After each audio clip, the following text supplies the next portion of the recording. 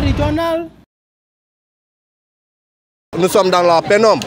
Donc, euh, c'est appelé euh, l'administration, c'est appelé l'État à regarder la commune de Boutoupa Kamarakunda. Parce qu'il est anormal que au 21e, qu'au 21e siècle, jusqu'à ce jour, aucun village de la commune de Boutouba Kamarakunda n'est électrifié. Or, nous sommes à moins de 20 km de, de.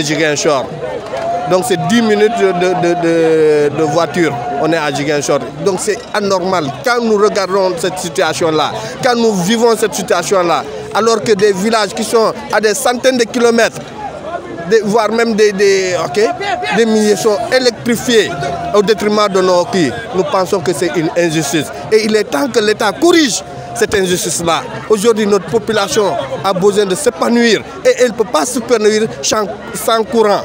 Donc nous appelons vraiment à l'État, à toutes les autorités de la, de la, la région de s'unir pour qu'on corrige cette injustice-là afin que la commune de Boutoupa Kamarakunda puisse voir les premiers jets de lumière de l'électricité.